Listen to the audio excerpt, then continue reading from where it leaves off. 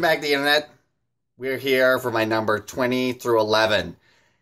Keep getting closer to the finish line, but sad, but also these games just keep getting better, so it's more exciting. It's very melancholy, it's very sweet. Which brings me to the prevailing theme for my number 20 through number 11s. It's my short and sweet games. These are games with relatively simple mechanics, easy to teach, easy to pick up, quick to play, fun themes. These are my short and sweet games, and I'm excited to share them with you. Sometimes these are games I'll also classify as potato chip games because for the overwhelming majority of them, you can't play it just once. You play it once and you're like, that's great. We got to play it again right now. Get out of my way. Terry, we don't want to play Five Tribes. Just go back to Washington State and we'll play this game. Anyway, let's fire it up.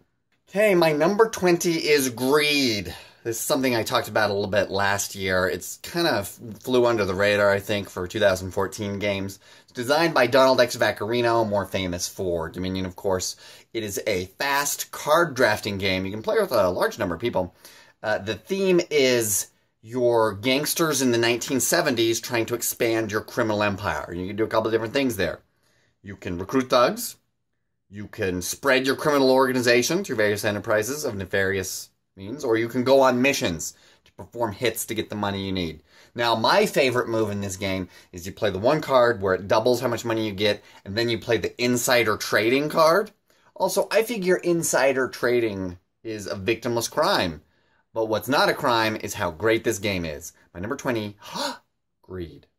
Now, my number 19, we're going to travel from 1970s criminal organization back into a fabled past a medieval past where we will go to the Medieval Academy.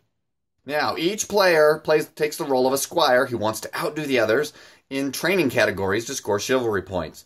To achieve this goal, during six turns, the players must wisely draft the cards that are most useful to them and play them at the right time to uh, move up discs on the training tracks. Okay, I'll admit, the discs on the training track, that's pretty abstract. There's not a lot that works there thematically, but that's okay, because you'll be having so much fun playing Medieval Academy, you won't even notice it. I particularly enjoy the, the aspect of winning the lady's favor and using that to inch past your opponents on different tracks where you may be behind. Now, and also, as far as the theme not being particularly strong, although I think the artwork is great and the components are fun, so it fits the theme pretty well. You could easily reskin this to be Martian Academy or Pirate Academy or any other kind of academy. I will say though, in terms of naming, I don't know why they didn't call this game Night School. You know, Night with a K. I think that would be a little bit more clever. But that's just me. Still love it. Number 19, Medieval Academy. It is a truth universally acknowledged that any young man in possession of a top 100 list must by necessity make number 18 something about Pride and Prejudice. And then we come to Marrying Mr. Darcy, one of the greatest games that there is. Travel back to a day and age of wonder and refinement in the time of Jane Austen, as you tried to marry the Bennet girls off to the best of all possible suitors. I did a segment on this last year, which you can watch here. I'll run some of the footage now. Yeah, this is a great Kickstarter success. There aren't a lot of copies of it floating around there because of that. If you want to find, if you find one, be sure to grab it. Now, the idea is we take the, the role of one of the Bennet family girls and you try to outperform one another in learning to be charming, dominating at social events, and winning the most ideal mate. For example, if Elizabeth ends up with Mr. Darcy, you get all the points. Now, there's also a way in this game to shoot the moon where if you don't end up with a husband, you can turn out to be a world famous author with uh, generations of legacy, kind of like what happened to Miss Austen herself. So, this game is fantastic. Thematically perfect. It is both short and sweet.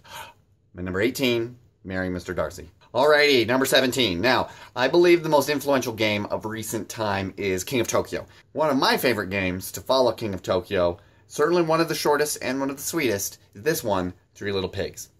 Now you have these, these pig-themed pink dice that you roll several times to try to get different combinations to build up your house, be it with straw, with wood, or with brick.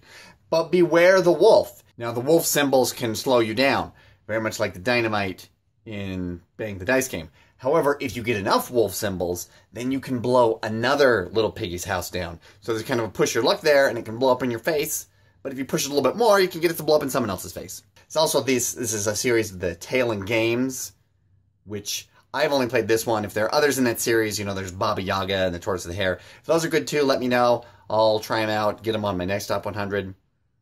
But for now, we are happy with the Three Little Pigs. All right, number 16. We come to another game by the inimitable Mr. Dr. Herr Professor Dr. Reiner Knizia. And that game is Poison. Now, the idea with Poison is it's really just a math problem, but thematically it's expressed in a fun way with, with cool components.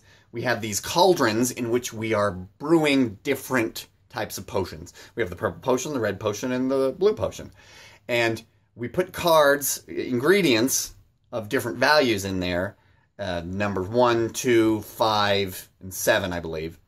Uh, and when it hits 14, then that potion busts, and whoever busts it has to take all the cards. Complicating this is that whoever gets the most of a certain color of card doesn't count those. This is like a golf game where you want the lowest point total. So if you end the game with zero points, you win.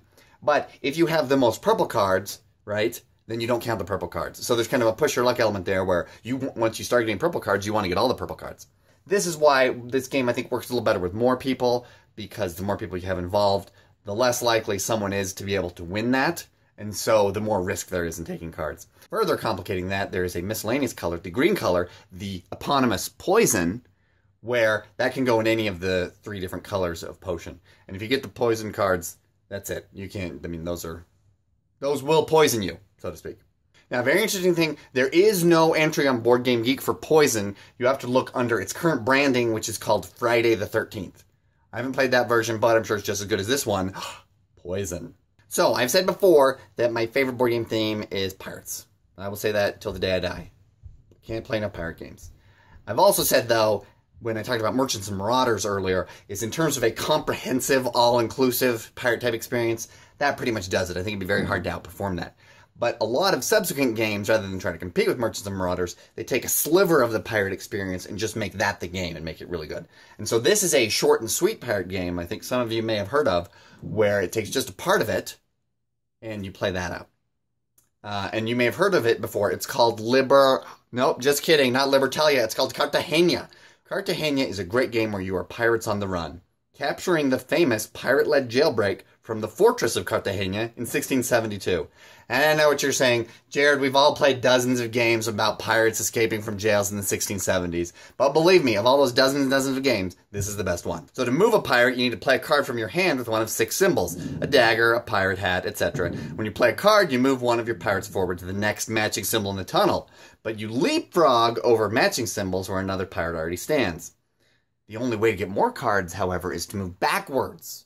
So it's a game of treachery, backstabbing, and trickery, which I would not want to play a pirate game where that weren't an important aspect of the strategy. Would you want to play a pirate game without betrayal? I don't think so. Certainly not me, which is why I named this game, my number 15, Cartagena. Travel now with me, if you will, from the city of Cartagena to the city of Jaipur, the exotic Indian trading metropolis of yore and legend.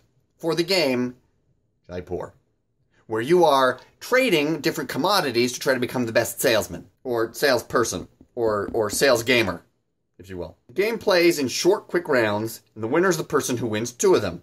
You compete to collect different commodities of different values, from leather all the way up to rubies. The rarer a commodity is, the more points it's worth.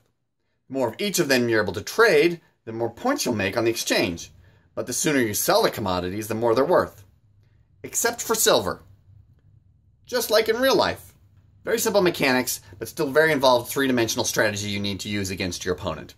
And whoever gets the most camels at the end of the round wins five bonus points. That's number 14, Jaipur. Yeah. Am I right? Yes. Okay, now number 13. This is a last minute entry. This was not initially on my top 100 list because I had not played it yet. I'm grateful I was able to, and so I snuck it in here. It actually bumped for sale off of my short and sweet list. And that game is Codenames. Now, Codenames, it's been talked a lot about. It was a game of 2015 on everybody's top 10 list. The idea is it's a spy versus spy where you have two competing agencies the blue spies and the red spies. It's a great team game where the clue just consists of one word and one number, and that's all your team has to go off of. Now, it would be cool if it had like a Mad Magazine theme at some point with the black spy and the white spy. If it doesn't, that's okay, but it might be cool. You love it, we all love it. Codenames. All right, number 12. So remember when we talked about San Juan versus Puerto Rico mm-hmm. and Shadows over Camelot, Camelot, the card game versus the main game. This is my reverse of that, where I prefer the board game version rather than its antecedent card game, and that is Lost Cities. The Lost Cities of board game is very similar thematically. The idea is you have these different tracks of different colors that you're exploring in the jungle to find these lost cities. And the the strategy is how many of these tracks am I going to try to go down? You go down too many, and you'll end up actually losing points because you won't be able to concentrate enough on one. You go down too few, and you won't get enough points at the end of the game.